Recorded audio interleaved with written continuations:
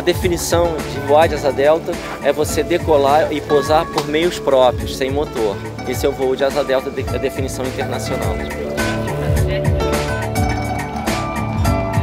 Meu objetivo é dividir essa experiência com mais pessoas, porque o fato de você voar ou entrar em voo, mas eu voei com um monge, ele me falou que eu perguntei para ele, mas por que você quer voar?